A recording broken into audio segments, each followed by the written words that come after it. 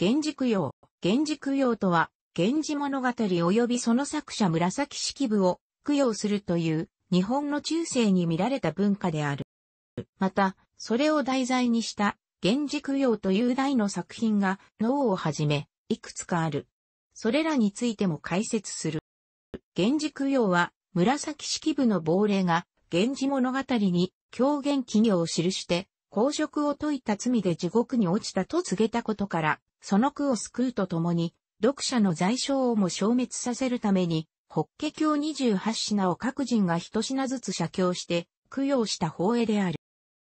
源氏供養の由来は、仏教において、架空の物語を作ることは、嘘をついてはいけないという誤解の一つ、不毛誤解に反する、とする当時の思想である。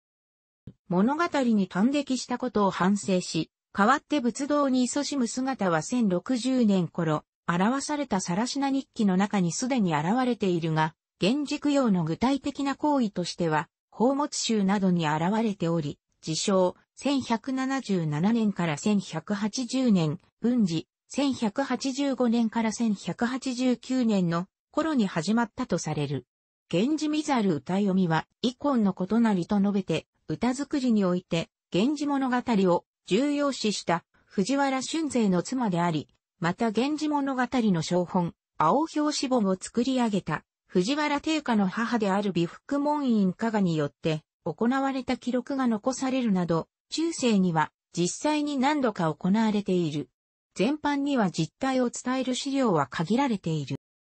源氏供養を題材にした作者不詳の物語がある。鎌倉時代の成立とされる。写本により、源氏供養、東海大学図書館東園文庫造本、源氏供養創始、宮内庁所領部造本、源氏物語漂白、宮内庁所領部造本などの異なった表題を持つ。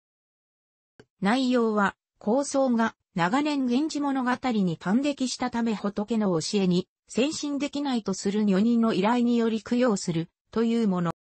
行為としての源氏供養を題材とした能楽作品、源氏供養がある。紫式部とも呼ばれる。青上、野々宮など、源氏物語作中の出来事に取材した一連の能楽作品とは異なり、作者である紫式部を題材とする。正確の作と伝えられる、源氏物語漂白をもとに構成されている。作者については、世阿弥説、川上神主説、以上、吉本作者注文、コンパル全畜説、210番歌い目録がある。豊臣秀吉は、能楽の中で特にこの源氏供養を好み、1592年、文禄元年から1593年、文禄2年にかけて、自ら7回舞った記録が残されている。前段、阿久井法院の名乗りから、石山寺への道行き、紫式部の霊との出会いがあり、石山寺門前の者との問答の後講談に移る。法院が石山寺の境内で源氏物語の供養をしていると、紫式部がありし日の姿で現れる。供養によって紫式部が完全音菩薩の化身であったと明かされのは終わる。序の舞は回れず、源氏物語を読み込んだ、長大な癖があるという三番目物としては異例な形をとる。以下、弱い強調部分は、陽曲本文の引用である。引用は主に、陽極体感によるが、漢字、不当点等は、適に改めた。登場人物、友の僧を連れた阿久井法院が登場、石山寺の観世音菩薩を信仰していること、これから石山寺に参詣することを述べる。一行は面崎、唐崎のあたりで里の女に呼び止められる。女は自分が紫式部の霊であることを匂わせ、かの源氏についに供養をせざりしとがにより成仏できないでいる。どうか弔ってほしい。と述べる。阿久井法院は、供養を約束し、里の女実は、紫式部の霊は、石山寺で会おうと言って消え失せる。登場人物、石山寺門前の住人が法院を見つけて、見慣れない方々だがどなたかと問う。法院は、自分の身分を述べ、紫式部のことを語ってくれないかと頼む。住人の言うには、紫式部は、腰中守る、史実では、越前守るため時の娘、上等門院に仕え、新しき物語を作れと命ぜられて、この石山寺に賛同し、祈願の上霊感を得て、まず、スマーカ氏の巻から書き始めました。その後在省消滅のため、大藩には一部60巻を自ら書いて納協しました。とのことである。住人は、ところで、なぜそのようなことをお尋ねになるのです？と問う。法院は、先ほど若き女性から現地供養のことを頼まれたのだと答えると、住人は、あなた様の尊さを見て式部が言葉を交わしに現れたのでしょう。という。法院一行は、石山寺にて弔いをする。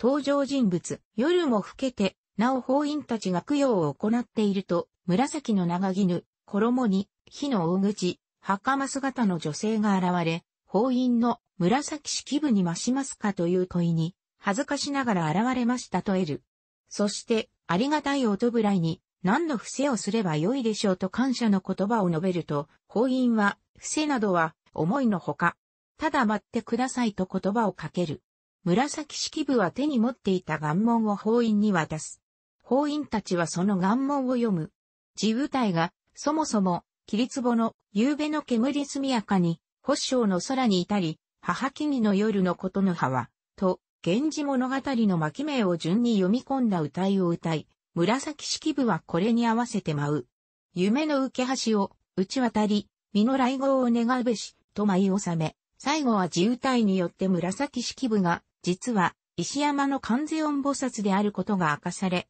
思えば、夢の浮橋も、夢のアヒダの言葉なり夢のアヒダの言葉なりという、師匠で、脳は終わる。近松門左衛門によるとされてきた浄瑠璃。甲州石山源氏供養とも呼ばれる。1676年、遠方4年5月、近松が24歳の時の作品とされて、近松全集などにも収録されてきたが、近松作とすることには、近年異論が出されている。西尾市立図書館所蔵本などが本国されている。三島由紀夫の戯曲、源氏供養。光源氏を思わせる、54人の女から、次々と愛された絶世の美男、藤倉光を、主人公とする、源氏物語を思わせる小説、春の潮と、その作者である紫式部を思わせる、若くして未亡人となった後小説家になった野添紫が登場する。1962年、昭和37年に文芸復刊3号、川出処方新社で発表。当初全8作として発表された近代能学習の9作目として発表されたが、後に廃局として三島自身によって除かれた。このため、三島の生前には単行本への収録も雑誌などへの再録もなく、また上演されることもなかった。しかし、三島の死後、1981年、昭和56年7月7日から15日に、東京、国立劇場小劇場に、老い演出、吉田喜重、出演、真帆しぶき、嵐一太郎、堀内正美、臼井裕二、渡辺義雄他により上演された。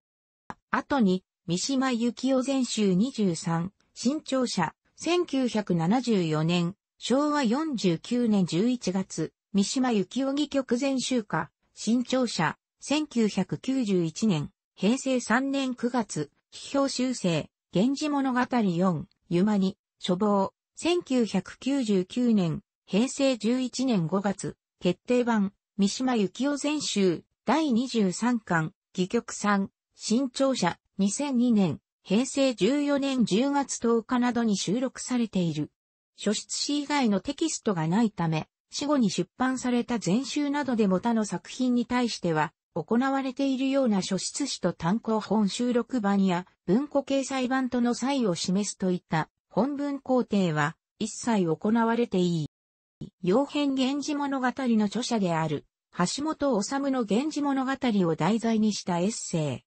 イ。1993年、平成5年から1994年、平成6年にかけて、上下2巻で、中央公論新社から刊行され、後1996年、平成8年に上下2巻で中古文庫に収録された。楽しくご覧になりましたら、購読と良いです。クリックしてください。